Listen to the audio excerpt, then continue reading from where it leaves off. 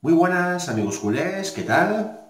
El Barça eh, está mal y quien no lo ve tiene un problema gordo. Hoy eh, contra el PSG lo mejor ha sido el resultado. El equipo no juega nada, eh, somos un coladero, Ter Stegen ya no es tan fino como antes, ha hecho muchos errores en pases, en salidas, etc.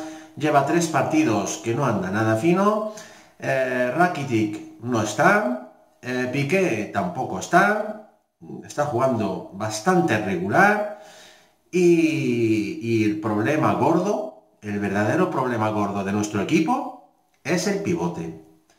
Sergio Busquets no está, está fundido. Y cuando un pivote, que es el pilar de cualquier equipo, anda mal, el equipo no funciona.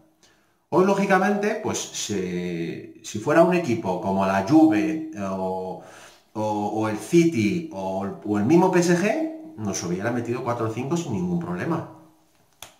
Y al carré. Esto, sinceramente, como está la cosa, no veo solución. No veo solución porque el equipo no tiene entrenador. Y, y llevo casi un año diciéndolo desde el partido del año pasado contra la Roma. Valverde no sabe gestionar el equipo.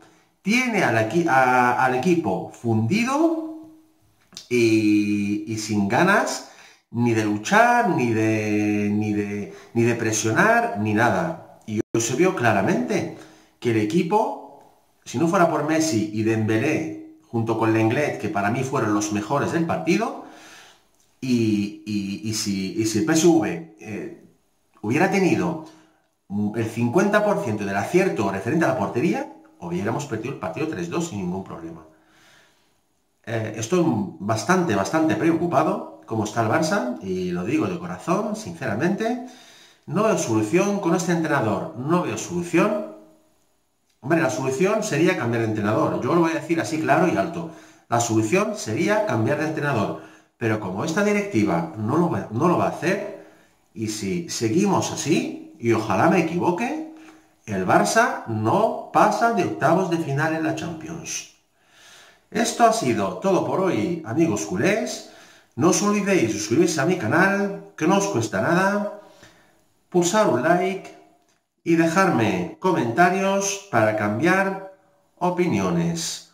Ojalá mejore la cosa.